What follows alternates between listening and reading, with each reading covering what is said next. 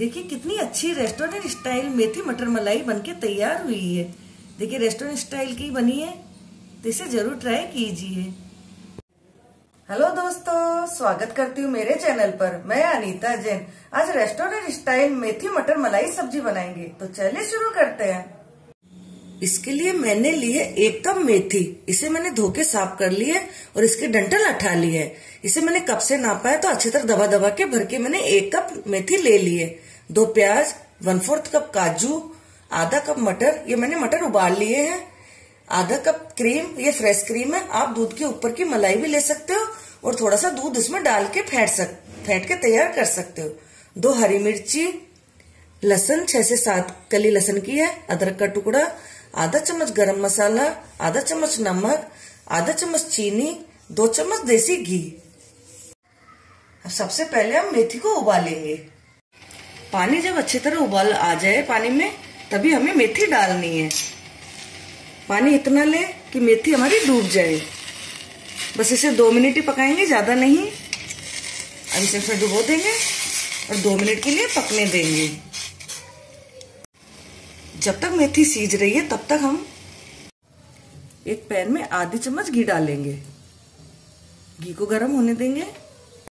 घी गर्म हो गया है, अब इसमें प्याज डाल देंगे। लहसुन, अदरक, हरी मिर्ची और काजू। और इन सबको मिक्स कर लेंगे। अब प्याज को ट्रांसपेरेंट होने तक पका लेंगे। ये सभी चीज़ पक गई है, प्याज भी देखो अलग अलग हो गए हैं। अब गैस बंद कर देते हैं और इसे ठंडा होने देंगे।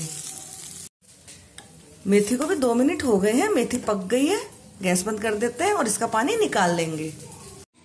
ये मेथी में से मैंने पानी निकाल लिया है, अब इसे बारीक चॉप कर लेंगे।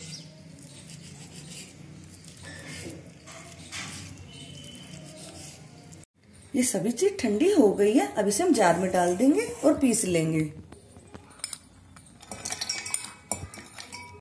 अब इसे बिना पानी डाले हुए पीस लेंगे।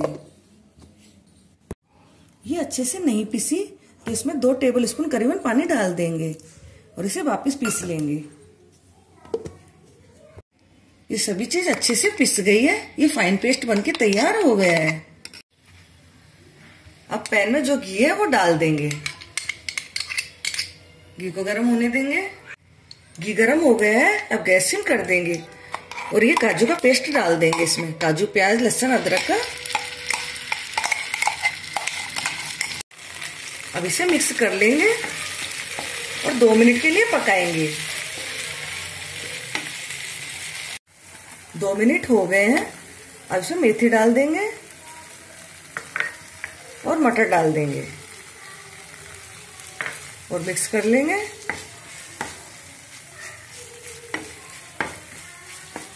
अब जार में हमने थोड़ा सा पानी डाला है। आधा कप करीबन पानी डाला है। इसे डाल देंगे। गैस को फुल कर देंगे। और मिक्स कर लेंगे पहले। अब इसमें उबाल आ गया है। आधी चम्मच चीनी डालेंगे। आप चीनी ऑप्शनल है। आप चाहो तो डालो, नहीं तो रहने दो। गरम मसाला डाल देंगे और मिक्स कर लेंगे।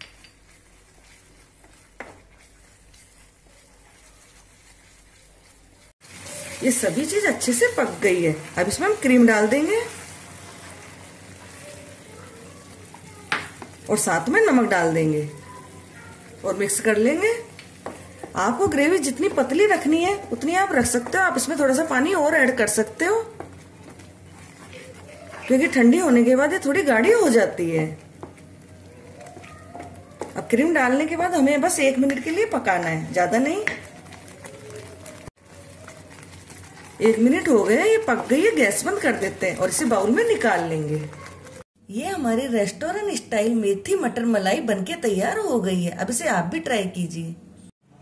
अगर आपको मेरा ये वीडियो पसंद आए तो लाइक एंड शेयर ज़रूर करिए और मेरे चैनल को सब्सक्राइब कीजिए। Thank you.